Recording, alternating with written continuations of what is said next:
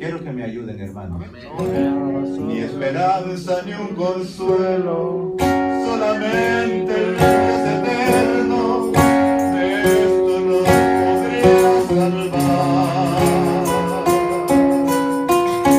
Despreciado de la gente por la lepra de tu cuerpo, la lepra que lo llevaba,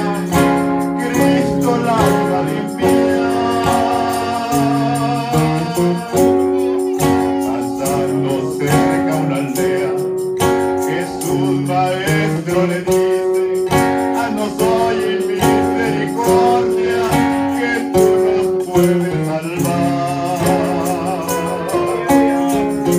Mientras iba